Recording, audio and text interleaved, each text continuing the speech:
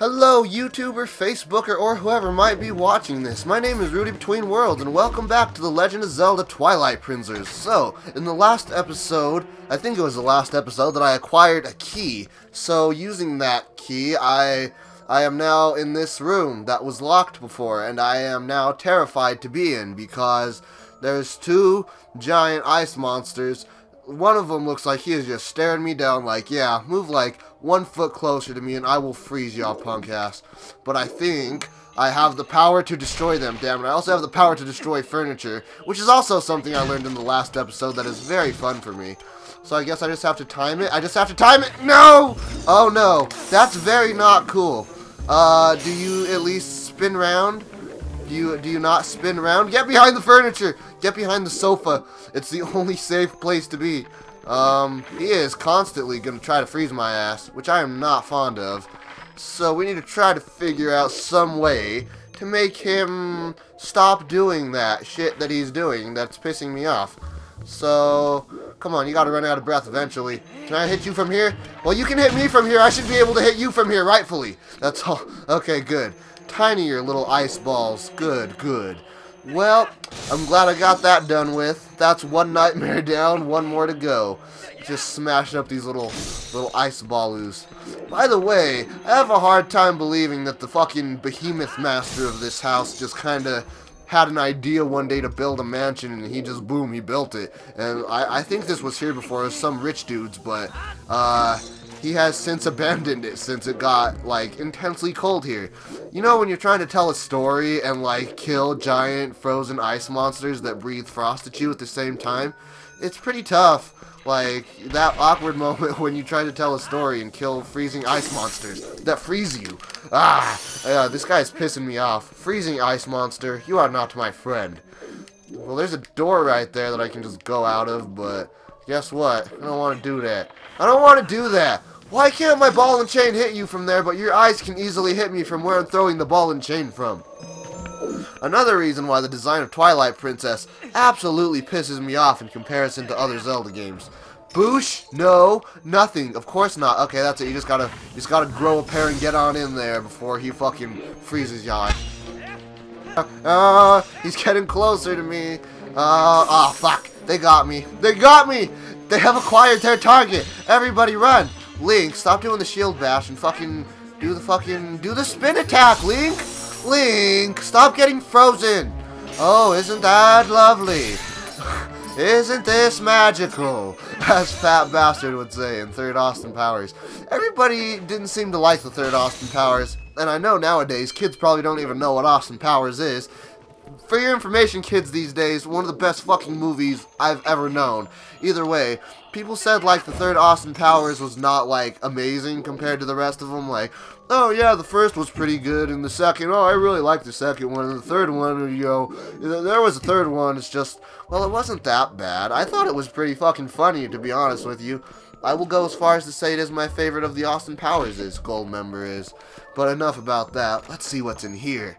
Ooh, more ice. Isn't that a surprise? That comes as big surprise to me. I wonder, can you hit me from here? Can you wage war from here? I don't think so. I don't think they can even see me. I don't even think they have eyes, so I don't, I don't need to worry about that. What'll happen if I break up this ice? Bash! Alright, well, I guess that'll be useful in case I ever just fall down on accident. I guess I need a cannonball, which, uh, according to my map, is nowhere.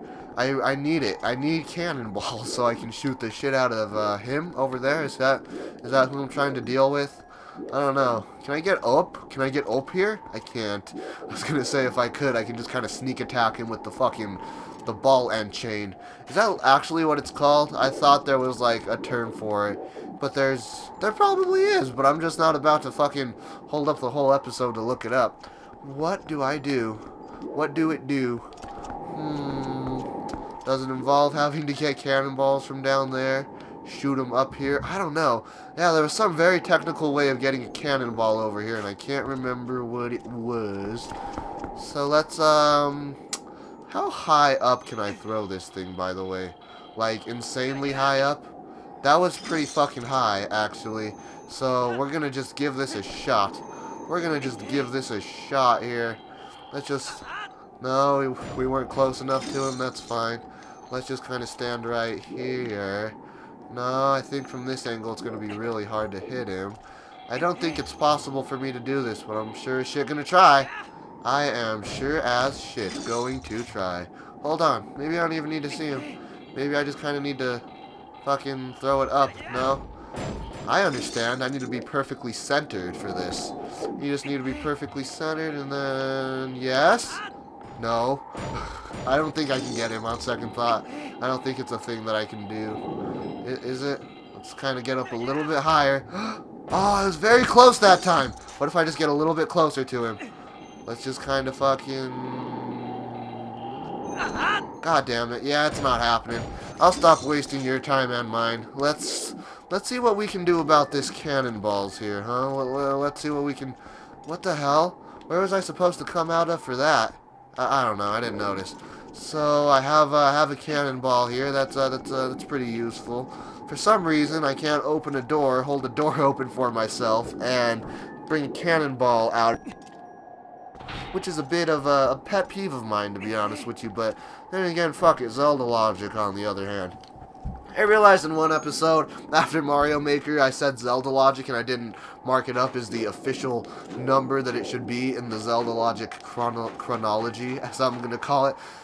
Because, well, I just, I don't fucking notice shit like that anymore. I just don't. So Zelda logic's gonna go unnoticed in this, most likely, too.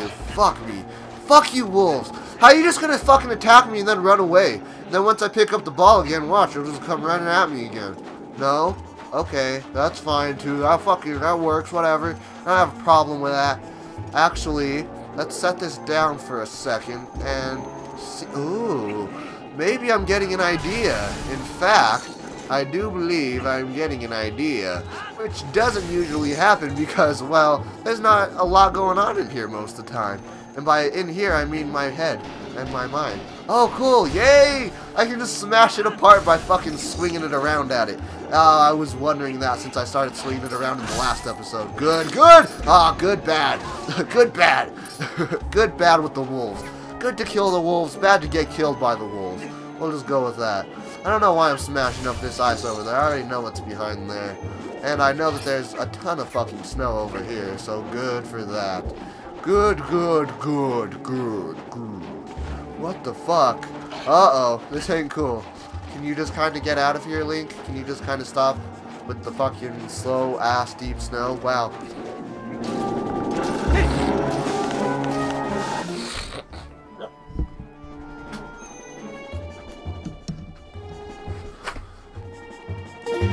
Okay, this is starting to look familiar, actually. So, now that I have the ball and chain, let's smash this the fuck up.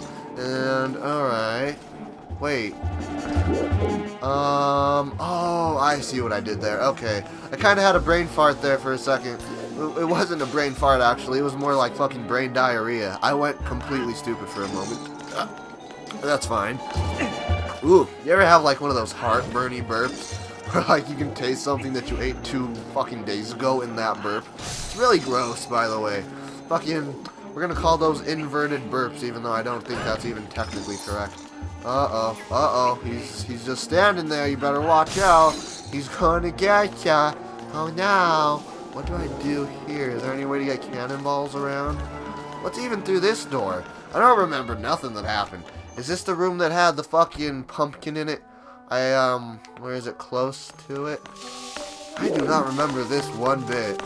Where am I? I feel like I'm supposed to find a secret in here, but the compass indicates that there is nothing. So, let's try this door now. Maybe so. Um, no. Okay, so this was the room that I got the pumpkin in. And, okay. This is all starting to get a little more familiar. I see. Oh, okay. What? What is that one hooked to on this side? If you kind of look at it like this, it's kind of just looks like it ain't hooked to nothing. You, you do you see that? The chandelier up here? Uh, if you look on it on my fucking left right now, it's kind of just hooked to nothing. Do you, do you notice that? Just half of it's kind of hooked to something. The two two of them out of four are hooked to a wall, which isn't a huge deal. I don't know. Um, I guess what would the word be? Unnecessarily observant. I don't know why that took me so long to think of. Probably because I'm stupid. Let's cut up these Icemen again. You know what pisses me off about this game? The Icemen always respawn. All the enemies in the dungeon always respawn after you go into another room and come back to the room. Oh, this game pisses me off. Oh, what do I do? You know what I'm uh, I'm noticing actually is that there's uh this wall is inconspicuously cracked in just a way that. Now now this is just a way that it looks but it looks like I can kind of just drop a cannonball in here grab a bomb and launch one this way. We're just gonna fucking try that. Nope there's a wall right there. Never mind don't worry about that. That was stupid. How about next time on Rudy Between Worlds I'm gonna actually get through this dungeon, guys, I promise you. So, um, very soon, I will be finished with Twilight Princess. Uh, this is episode 70. That's a lot, I noticed. Uh, so, that being said, I'm gonna try to finish this series in under 100 episodes, 100 episodes or less. That is my goal with this series. I have 30 left to finish this. So what I'm gonna do is I'm gonna pull out a fucking player's guide.